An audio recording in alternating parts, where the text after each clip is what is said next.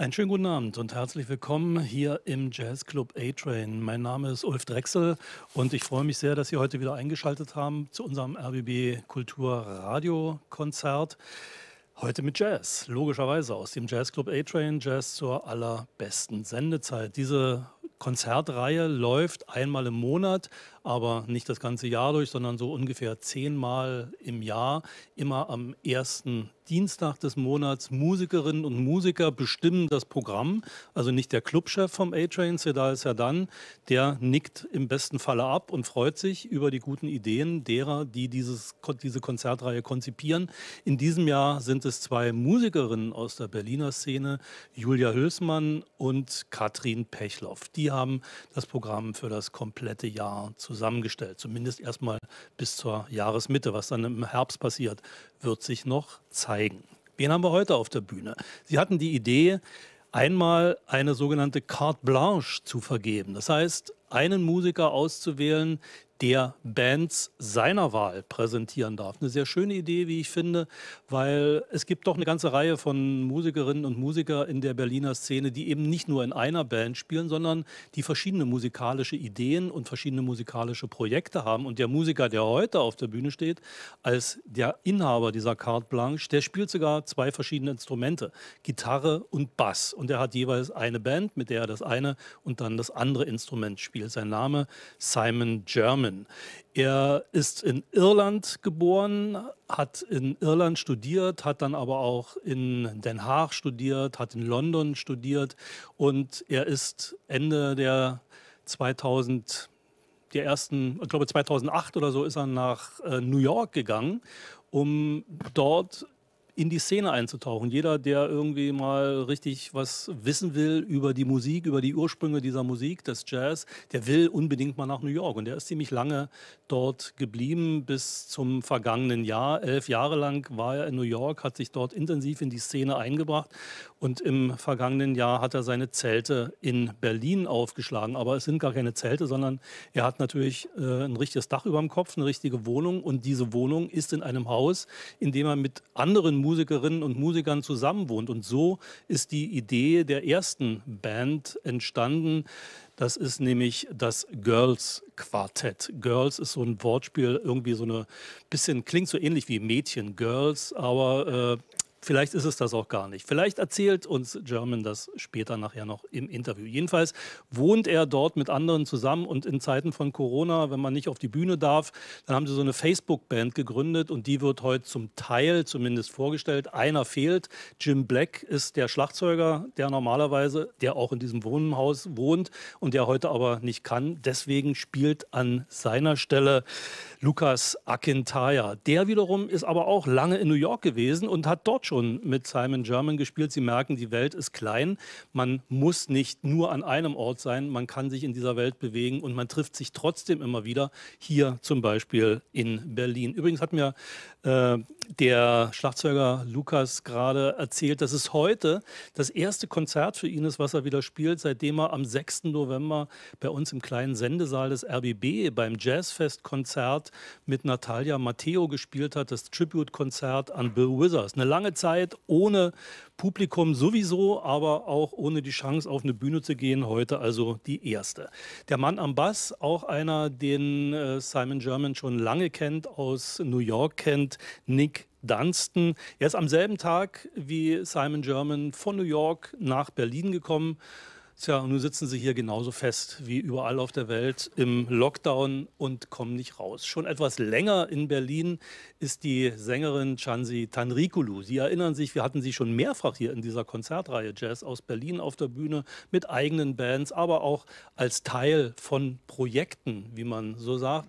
Sie hat verschiedene Geschichten, die sie selber an den Start gebracht hat. Ihr Trio Meles beispielsweise mit Elias Stemmeseder und Jim Black ist wahrscheinlich eines der prominentesten. Diese vier vier sind also jetzt auf der Bühne hier im A-Train, das Girls Quartett live aus dem A-Train. Viel Spaß dabei.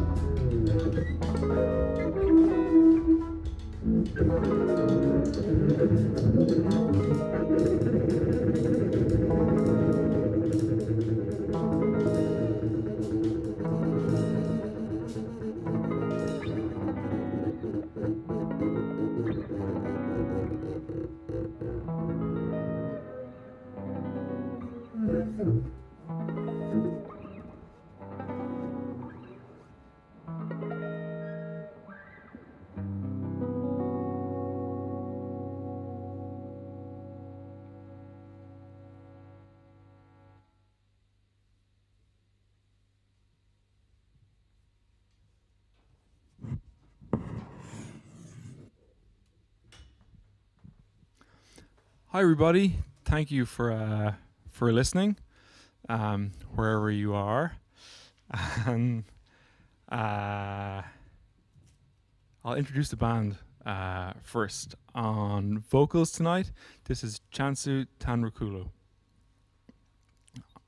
I'm I'm yeah I'm used to waiting for, for, for clapping. It's weird to just say it and then. Um, on bass, this is Nick Dunstan. On drums, Lucas Akintaya. And my name is Simon German, and we've been playing, thank you, some songs of mine. Um, we played a whole load of songs there and we combined them. Uh, we improvised our way through them. The first one was called. Uh, a lot of these songs are kind of new, so they've had kind of terrible working titles, but now they've got new, slightly less terrible real titles. Uh, the first one was called Fifth Neck of the Woods. Then we played one called Separate From. Then we played one called Spitting. And then the last one we played was called Loop 2. That was going to be a working title, but now it's a real title. Um, and it's really nice to be here. It's really nice to get to play a gig. And so thanks a million to all the people that have helped with that. Um, to Julia and Catherine, who, who invited me to do this. Um, and to Sadal at A Train and everybody from the radio, Ulf and Caroline. And there's um, I've talked to a whole lot of people, and I'm afraid I'm going to forget people's names now. But Sophia, and there, has been four or five people, so thank you for all the help. Um, and to Christina, there's, there's a bunch of people to thank. So super nice to be here. We're going to play one more song for you, and then after that, there's going to be another band. Uh, this last song is called Hidden Word, and thanks a lot for listening.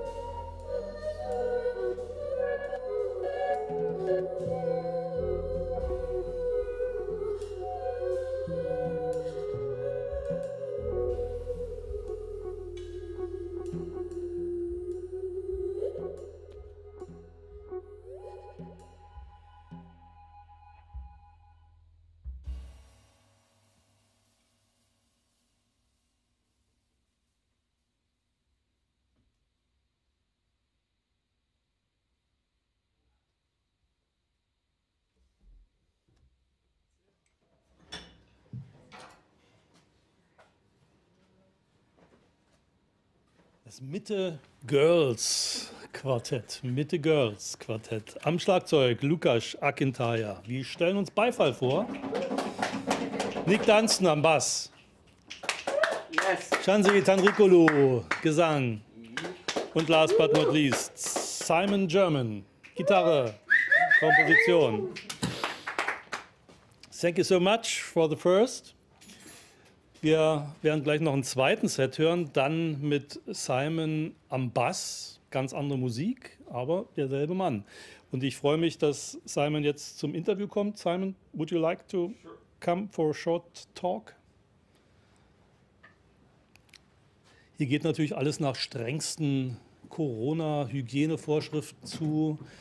Abstand auf der Bühne. Sie können das alles natürlich auch bei uns auf der Homepage sehen. Sie können es bei Facebook sehen. Sie können es auf der Seite vom A-Train im Videostream sehen, was hier heute Abend passiert. Jazz aus Berlin, das RBB Kultur Radiokonzert. Zwei Bands, ein Abend heute die Carte Blanche für Simon German, den Gitarristen, Bassisten, der aus New York nach Berlin gekommen ist, aus Irland nach New York gegangen ist, ein Reisender. Simon, we've just heard this group living in, mostly of them, living in one house in Berlin Mitte. It's very difficult to find any flat in Berlin.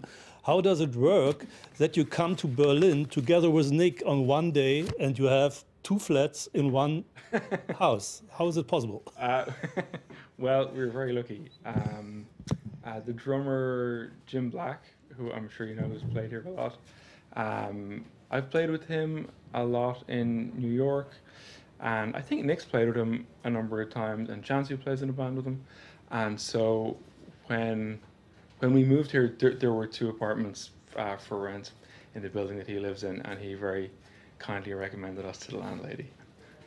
Also es ist ja eigentlich normalerweise ziemlich schwierig, in Berlin überhaupt eine Wohnung zu finden. Dann kommen zwei Jungs aus New York nach Berlin, finden eine Wohnung, dann auch noch im selben Haus. Sie spielen ja zusammen Musik, das ist kein Zufall. Simon sagt, dass sozusagen Jim Black, der Schlagzeuger, der schon eine Weile länger in Berlin lebt, der aber früher auch in New York war und eine der wichtigen Figuren der New Yorker Szene und Simon hat oft mit ihm zusammen gespielt, wusste, dass in diesem Haus zwei Wohnungen frei sind und er hat die beiden empfohlen und der Vermieter hat gesagt, okay, wenn das mit Jim klappt, dann klappt das auch mit Simon und dann nehme ich die beiden. Okay. So, I watched your homepage and what I found was the last information from April 2020. You you pronounced that you will go to Europe, especially to Berlin in August. When you decided to go to Europe, especially to Berlin, did you know what will happen because of Corona and all this terrible stuff? No, um, no. I I had this. My wife and I had decided to move to Berlin before Corona, um, and then when Corona happened, it, it kind of sped it up a little bit. Um, we were going to wait until until the autumn, but then at the time it was particularly bad in New York, um, so we decided to come a little bit earlier. Um, we went via Ireland because I'm Irish, and so we stayed with my parents for, for a couple of months, and then we and then we, we did come here in August in the end. Okay, also die Idee nach Europa zu, kam, zu kommen und speziell nach Berlin gibt es schon länger. Die war schon vor Corona da. Dann hat er ein bisschen gewartet mit seiner Frau, die mitgegangen ist nach Berlin. Und dann sind sie auch nicht direkt im Sommer 2020 von New York, da war ja in New York die Hölle los, was Corona angeht, nach Europa gekommen, sondern sie haben einen Zwischenstopp in seiner Heimat in Irland gemacht bei seinen Eltern, haben da eine Weile noch Station gemacht und sind dann nach Europa gekommen. What have you heard before you came to Berlin about the jazz scene of this big, really huge city? Um, I'd heard. I, I mean, I'd been here a lot of times to play. Um, I play a lot with the saxophone player Charlotte Greve. Yeah.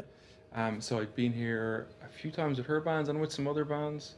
Um, played at A Train and at uh, some other places. And through that, I'd met a number of musicians from here. So I knew that there were lots and lots of great musicians in Berlin and lots of like a really interesting scene.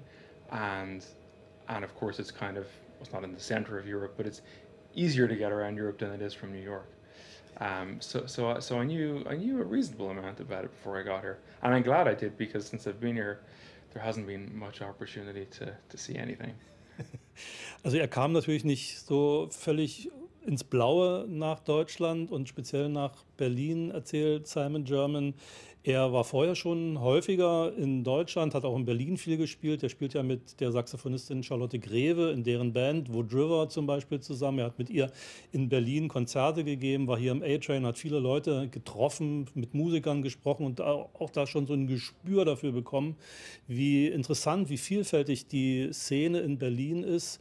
Und das war für ihn einfach auch eine Möglichkeit, von Berlin aus dann noch eher in Europa hier und da aufzutauchen, als das von New York aus der Fall gewesen wäre. Aber dann kam es doch ein bisschen anders, weil er hat noch nicht so viel richtig erleben können, seitdem er hier ist, weil die Szene liegt brach. Äh, es passiert nichts aufgrund von Corona. Und deswegen ist es natürlich ein bisschen anders gekommen als geplant. do you decide to go back as soon as possible because it's difficult to work now here in Berlin, or do you have plans for working bands with other musicians? So when it starts again, we hope it will start this year, maybe in the autumn, then you have a push to to do all the things you have in your mind only now. Yeah, yeah, exactly that. Yeah, I mean, we're we're going to stay definitely, and yeah, I hope that there can be lots of working bands and playing once things open up. Um, I mean, of course, I'd also like to stay as connected to New York as I can. So when it's safe to travel, to go there and keep playing with those those groups and those musicians um, as well. But but yeah, I hope that things can open up safely soon and and playing can happen again. Also er hat natürlich eine Menge Sachen im Kopf, die er tun will und die jetzt geplant werden in der Zeit, wenn man nicht spielen kann. Er will auf alle Fälle in Berlin bleiben und dann, wenn es wieder geht, all die Dinge tun, die er im Kopf hat, auch dann auf der Bühne umsetzen, mit Musikerinnen und Musikern, die er hier getroffen hat, umsetzen. Und natürlich will er auch mal wieder zurück nach Berlin. When you went from Great Britain or from Ireland. I don't know if you if you came directly from Ireland to New York or from London where you studied as well or Den Haag where you studied to New York. I think everybody, every jazz musician wants to go to New York because New York is a place for jazz. Mm-hmm. You lived there 11 years, you worked there, you studied there, you had many musicians with you on, in different bands as well. Uh, and when you came to Berlin, I think it's difficult to explain because it's not the real jazz life in Berlin now. But can you describe the difference or the nearness of both cities, New York and Berlin? In regular times, you mean? Yeah. Oh, I can try. Um, I mean, I, I, I moved around a lot. I, I went from Ireland to, to New York. So when I finished, it's kind of long and complicated, but when I finished studying in The Hague, I lived in Iceland for a year. Then I spent a little bit of time in New York, went back to Ireland for two years, and then went to New York for, for the last 11 years. Um, I mean, it's hard to compare them because I haven't really lived here. I've only, I've only either passed through on tour, or else lived here during lockdown. Um, so it's hard to say. I mean, of course, the scene is a little bit smaller here because New York is just so big and there's so many musicians. Um, but I think, yeah, I mean, I, I think there's a great scene here and a lot of interesting people. I think the aesthetic is, is a little bit different in an interesting way to me. Um, but in terms of like real life in New York and here, I, I, I don't know yet. Um, but I hope that it's great here. Ich habe ihn gefragt, äh, wenn er die Städte, die Szenen von New York und Berlin vergleicht und jeder, der ja irgendwie Jazz macht, will irgendwann nach New York. Er erzählt dann, dass er direkt von erstmal von Irland nach New York gegangen ist, dann war er in Den Haag, dann war er in Island, dann war er wieder in Irland, dann ist er wieder nach New York gegangen und blieb dann für elf Jahre. Er kann die beiden Städte nicht so richtig vergleichen, weil er Berlin ja noch gar nicht in seiner ganzen Vielfalt und Lebendigkeit erleben konnte aufgrund des Lockdowns. Was er sagen kann, ist, dass die Szene in New York natürlich noch viel größer, noch viel vielfältiger ist, weil die Stadt ist einfach größer. Da leben unheimlich viele Musikerinnen und Musiker, die jeden Tag irgendwo spielen wollen. Und äh, das ist in Berlin ein bisschen kleiner, aber trotzdem genauso spannend. Und er hat viele Leute schon getroffen, mit denen er spielen will und spielen wird. Und was das tägliche Leben angeht, auch das kann er noch nicht so richtig vergleichen, weil richtiges Leben hat er in Berlin noch gar nicht kennengelernt. Man sitzt im Haus, in der Wohnung und äh, spielt und denkt und komponiert vor sich hin. Da ist man noch gar nicht richtig involviert, aber er ist sicher, dass das Leben, wenn es dann richtig losgeht, sehr spannend ist und er freut sich darauf, das in Berlin zu erleben. So, I thank you so much up to now. And uh, we're excited to listen to the next group you're going to play with. But in the meantime, you have to change some Mm-hmm. technical things on stage, of course. We will listen to three songs from the EP Sooner, which you made with Charlotte Greve. We already mentioned her. Mm-hmm. You made it in New York, I think, the recording. We did, yeah. We It's were- a duo recording Uh, it's a duo recording, but actually, um, with a, with, a, with a mastermind of techniques and mastering and producing. yeah, well, so there, there's a friend of ours, Joe Bransford, who's a great musician. He did a lot of processing um, on it. So it's a duo normally, but that record almost feels like a like a trio because of him. Uh, and you play both instruments there as well, guitar and bass. Play, yeah, some bass and uh, maybe not any regular guitar, some baritone guitar. Okay. Um, yeah, we recorded at our friend Matt Morance's studio in I don't know what year it was. I think I think it's just bass and baritone guitar. Maybe no no no guitar. Äh, es geht jetzt gleich weiter mit einer Studioproduktion, die in New York entstanden ist, die äh, Simon mit Charlotte Greve zusammen gemacht hat. Suna heißt die Band, Suna heißt die EP, die man bei Soundcloud hören kann. Da spielt er Bass und Bariton-Gitarre, ist in New York aufgenommen worden mit einem Mann im Studio, der sehr viel an der Produktion mitgewirkt hat und deswegen ist es eigentlich eher eine Trio-Produktion, sagt Simon. But what I uh, want to know from you is, you play guitar and bass. Yeah. And I can imagine sometimes you have to decide what you're going to do in which band. Is it helpful to to can that you can play both instruments because sometimes you were asked as a bassist and sometimes you are asked as a guitar player or do you decide which instrument you play in which band? Um, I guess it depends. It depends situation to situation. Sometimes people ask ask me to play bass and sometimes guitar. I guess I can decide if it's a band that I'm leading or co-leading, but uh, but otherwise it's not up to me. Do you prefer one of both instruments? Or Um, does it depend to the music? I, I suppose it depends on the music a bit. Um, yeah, I mean they're the same family of instrument. They don't feel they don't feel as different as people sometimes think they are. Maybe. Um, so yeah, I, I, they're kind of equal, I suppose. Ich habe ihn nochmal nach, nach den beiden Instrumenten gefragt, die er gespielt hat, äh, die er spielt, Gitarre und Bass und nach welchen Kriterien er entscheidet, wo in welcher Band er welches Instrument verwendet, ob das davon abhängig ist, wonach gefragt wird, ob er als Bassist oder als Gitarrist angefragt wird. Und er sagt, ja, das hängt schon davon ab, was gebraucht wird, aber am liebsten ist es ihm natürlich, wenn er in einer Band der Chef ist und selber entscheiden kann, was er spielt oder auch der Co-Leader ist, so wie heute Abend eben, entscheidet er in der einen Band das Instrument, in der anderen Band das andere Instrument zu spielen. Aber es ist gar nicht so unterschiedlich, sagt Simon German, diese Instrumente zu spielen. Sie kommen aus derselben Familie und man denkt immer, es ist so unterschiedlich, aber es ist gar nicht so unterschiedlich. Es gibt bestimmt eine Menge Gitarristen, die ganz passabel Bass spielen, aber es gibt nicht viele Bassisten, die richtig gut Gitarre spielen.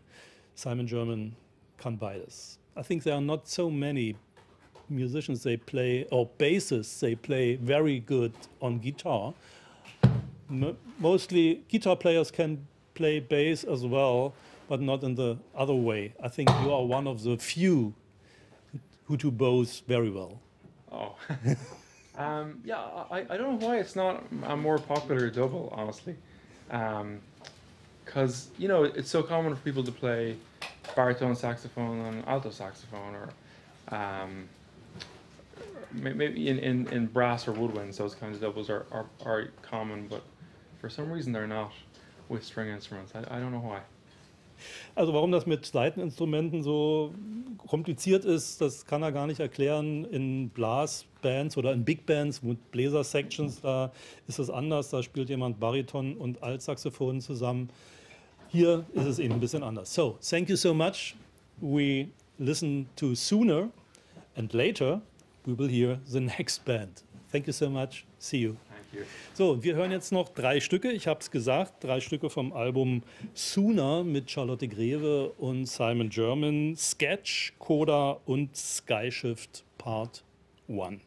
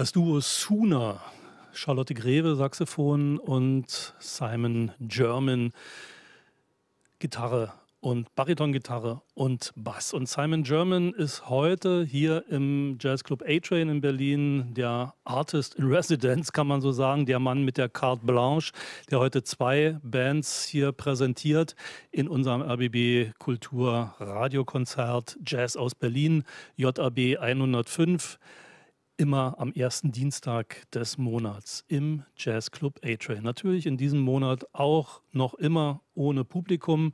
Wir haben uns das alle anders gewünscht, aber wenigstens ist es möglich, hier diese Konzertreihe zu veranstalten. Es gibt ja jede Menge Streaming-Konzerte hier aus dem A-Train. Ich glaube, so viele wie aus keinem anderen Berliner Jazzclub. Das hat sich richtig etabliert, aber es bleibt natürlich eine Notlösung und alle hoffen und alle warten, dass es bald wieder richtig losgehen kann mit Publikum im Raum und das ist für die Musikerinnen und Musiker natürlich auch eine ganz andere Atmosphäre, wenn sie so ein richtiges Feedback bekommen, als wenn sie in einen leeren Raum hineinspielen. Aber es ist besser als nichts. Wir haben von Simon German ja gehört, dass er sich auf die Zeit in Berlin freut, wenn alles wieder ganz normal läuft. In der ersten Band haben wir ihn als Gitarristen gehört, in der jetzigen Band hören wir ihn als Bassisten. Eine Band, die es schon seit einigen Jahren gibt, die in New York das Laufen lernte als Quartett in der Besetzung zwei Saxophone, Charlotte Greve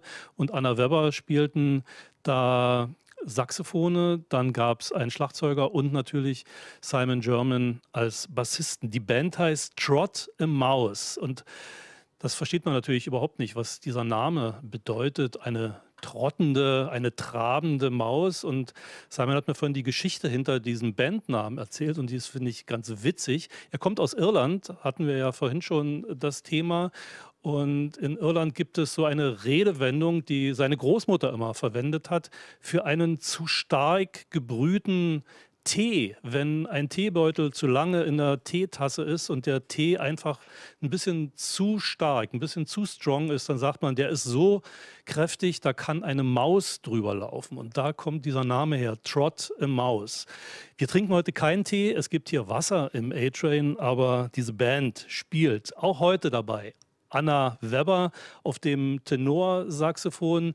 Auch sie ist eine Musikerin, die seit vielen Jahren in New York lebt und arbeitet, aus Kanada nach New York gekommen ist, inzwischen als Stipendiatin auch immer wieder in Berlin ist. Insofern ist das tatsächlich wie so eine Drehscheibe, auf der wir uns hier bewegen zwischen New York und Berlin. David, äh, Devin Gray sitzt am Schlagzeug. Auch er hat schon oft mit Simon German zusammen gespielt und Simon German am Bass. Lassen wir die Maus über den Tee laufen, trotten sozusagen. Trot a Maus. Viel Spaß.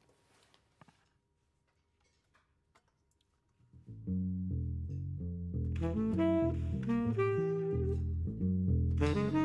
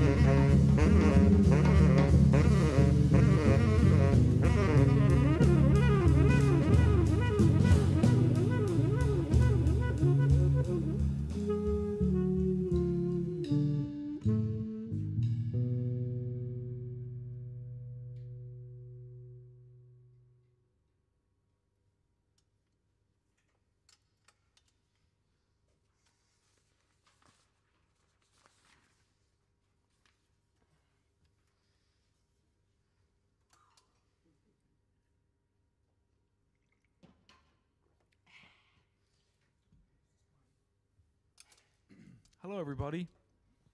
If you're listening, wherever you're listening, um, thank you for very much. Thank you very much for tuning into this set or listening to both sets. Um, tonight on the drums, this is Devin Gray. Yay! And on a tenor saxophone, Anna Weber. And um, we just played two tunes of mine, and they were called. Uh, they have new titles. They were called New November and Triforce, which had a coda, which is unnamed except for coda as of now. Um, and we're going to play a few more songs. We may improvise our way through them, or we may take breaks. But just in case, we we go straight through them. Uh, we're going to play loop four. In the last set, we played loop two. Um, and then we're going to play a tune called Fast Fish. And we're going to finish with a tune called Through Arch Bridge. Um, great. So thanks a lot for listening. And yeah, that's it.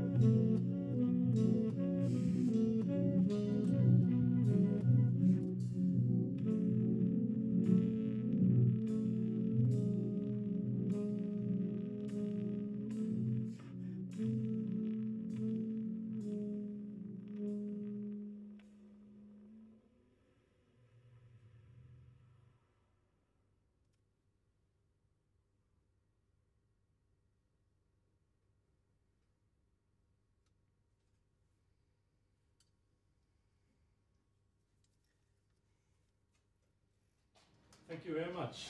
Das war das Trout a Mouse Trio.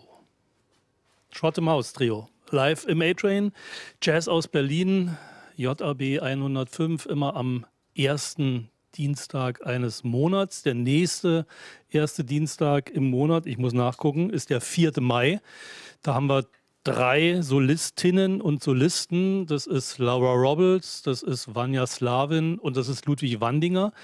Drei Solo-Performances sozusagen dem Lockdown geschuldet. Die Damen und Herren haben sich ganz intensiv mit ihren Instrumenten beschäftigt und das Ergebnis wird hier im A-Train präsentiert. Vielen Dank für das heutige Konzert. Devin Gray am Schlagzeug, Anna Weber Tenorsaxophon und Simon German Bassgitarre und E-Gitarre. Er hatte heute die Carte Blanche für Jazz aus Berlin. Simon German, thank you very much.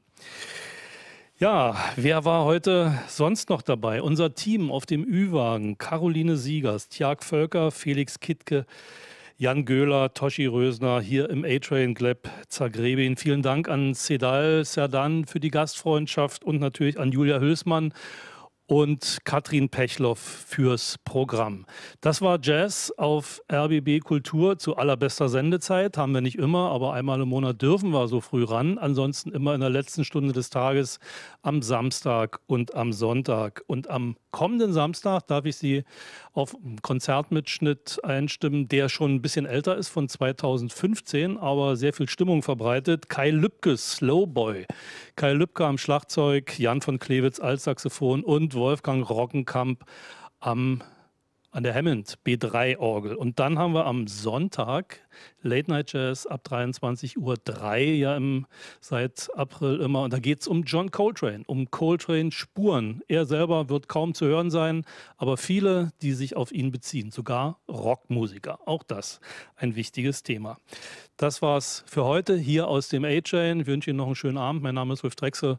Wünsche Ihnen eine angenehme Nacht. Machen Sie was draus und behalten Sie einen guten Geschmack. Und jetzt haben wir noch ein bisschen Zeit für Sooner und Gloomy Sunday.